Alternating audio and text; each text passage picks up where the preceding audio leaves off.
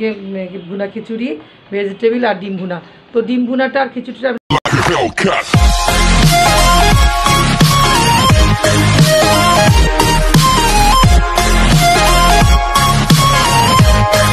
আসসালামু আলাইকুম everyone welcome back to my channel Shahnaz Arun blog তো বন্ধুরা তোমরা সবাই কেমন আছো? আলহামদুলিল্লাহ এই তো আমি বেশ ভালো আছি। তো আজকে ব্লগটা আমি শুরু করতে যাচ্ছি এখন বাজে বেলা এগারোটা। তো আজকে সকালে কোর্টে যাইনি এই- কোর্টে এমনি কাজের চাপ কম ছিল, তা ভাবলাম যে আজকে রোজা আছি অদ্রিয় আমার সাথে রোজা আছে, সে সেই কারণে আজকে আমরা আমি কোর্টে যাইনি। তাছাড়া আজকে দুপুরবেলা একটু এক জায়গায় বেড়াতে যাব আমার আমার মেয়ে, আমার ছেলে, আমি তো এই কারণে আজকে আমার কোর্টে যাওয়া হয়নি। তো ভাবলাম যে আজকে যেহেতু কোর্টে যাব না, তো আজকে একটু মাথায় মেহেদি দিই, তাও আজকে আমি মাথায় মেহেদি দিয়েছি। সময় পাওয়া যায় না, শীতের দিন মেহেদি দিতে খুব কষ্ট লাগে। আর বুঝে নিত শীতকালে গোসল করাটা কী ঝামেলার ব্যাপার। তো ভাবলাম যে মেহেদিটা দিয়ে নিয়ে ফাঁকে আপনাদের সাথে একটু আড্ডা করি। তো আড্ডা তো করব, সঙ্গে দুপুরের সময় হয়ে গেছে, রান্না করতে হবে। যেহেতু রাত্রে বাড়িতে ফিরতে একটু সন্ধ্যা হবে, তো ইফতারি করার পর বাসায় এসে শরীরটা ছেড়ে দেবে, তখন রান্না বাড়া কিছু করতে ইচ্ছা করবে না। সেজন্য ভাবলাম আজকে দুপুরে যা পারি একটু রান্না করে রাখব, যেহেতু রাত্রে আপনার ভাইয়া শুধু একবেলাই খায়, তো ওর জন্যই রান্না করব। তো আমরা বাড়িতে খেয়ে আসব, সেজন্য তো আজকে দুপুরে যা রান্না করব, তো আপনাদের সাথে আমি শেয়ার করব। তো, আমার সাথে থাকুন আপনারা।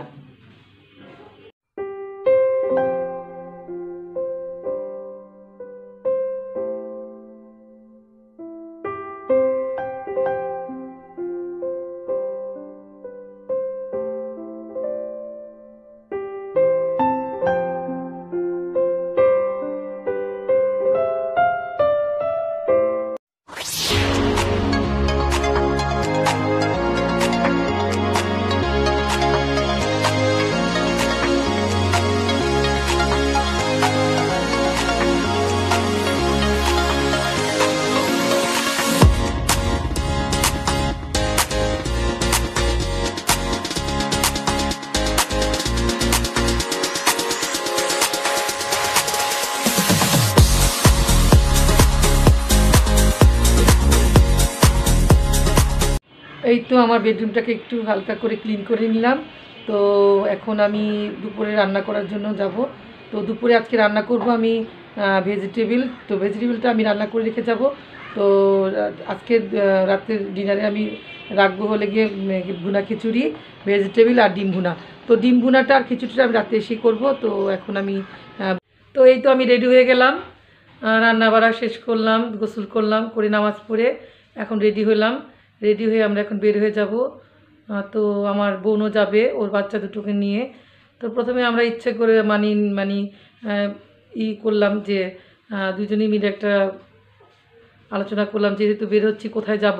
তো ভাবলাম যে একটু লালবাগে কেল্লায় যে ঘুরে আসি অনেক দিন যাওয়া হয় না, বাচ্চারা দেখলে খুশি হবে। ওরা একবার গিয়েছিল দুই দুই, তিন বছর আগে, তো এখন আবার যাচ্ছি ভালোই লাগবে। তো চলুন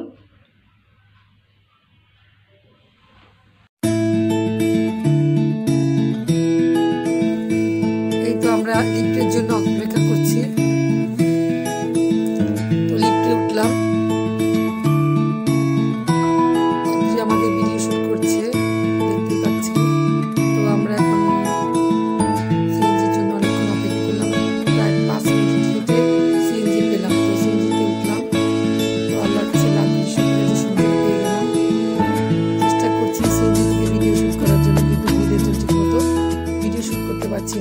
পাচ্ছেন আপনারা। তো আমরা চলে আসলাম লালবাগের কেল্লা, এখানে আমার বোন, বোনের বান্ধবী, ওদের বাচ্চারা এসেছে, আমরা সবাই মিলে একসাথে খুব মজা করেছি আজকে। তো লালবাগের কেল্লা এই সময় দর্শনার্থীর খুব ভিড় থাকে, তারপর আমরা ওখানে সবাই মিলে একসাথে হয়ে ঘুরলাম। ভালোই লাগল, অনেক মানুষ এসেছিল এখানে। শীতকালীন অনেক ফুল ফুটেছে, এখানে যে ফোয়ারাটা দেখতেছেন, এখানে একসময় পানি পানি পড়তো, এখন পানি বন্ধ করে দিয়েছে। তো সব মিলিয়ে লালবাগ কেল্লা দেখতে খুবই ভালো লাগে। এর আগে আমি দুইবার এসেছিলাম।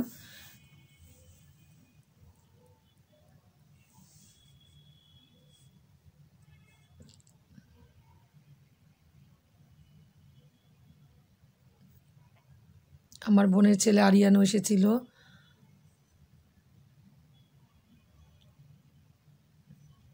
আমি চেষ্টা করছি আপনাদের পুরো লালবাগের কেল্লাটা ঘুরে দেখানোর জন্য।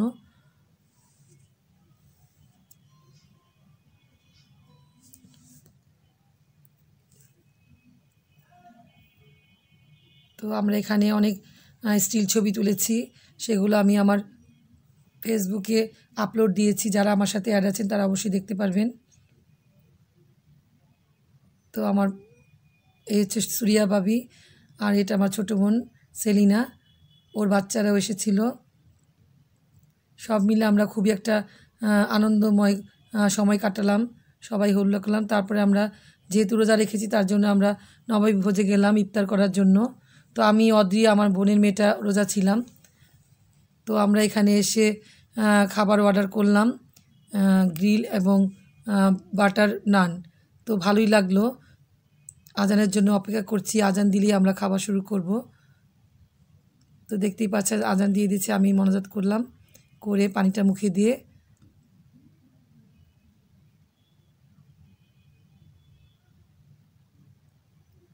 এই তো ইফতার খাওয়া শুরু করলাম। সারাদিন রোজা রাখার পর খেতে খুব ভালোই লাগছে। সহ্য হচ্ছিল না, পেটে এমন খেতে পেয়েছিল যে বলার মতো না।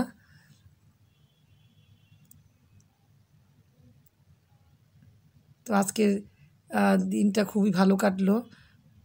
মাঝে মাঝে এরকম মানে আশা না করলে অনেক কিছু করা যায় এরকম মানে সময় কাটে যে বলার মতো না। তো আমরা ইফতার শেষ চলে গেলাম হোসেনে দালানে।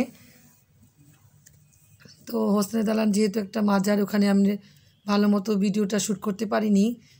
তো দেখছেন চারদিকে একটু ঘোলা ঘোলা লাগছে। তো যেটুক সম্ভব আমার হয়েছে, আমি দেখানোর চেষ্টা করছি আপনাদের। হোসনে দালানের পাশে একটা ঝিল আছে, ঝিলটা খুব সুন্দর। রাতের বেলা সেই কারণে ঠিক মতো দেখাতে পারছি না। তো আমার ভিডিওটা যদি আপনাদের কাছে ভালো লেগে থাকে, তাহলে অবশ্যই আমার চ্যানেলটাকে লাইক, শেয়ার কমেন্ট এবং সাবস্ক্রাইব করতে ভুলবেন না। বাই বাই, আল্লাহ হাফেজ।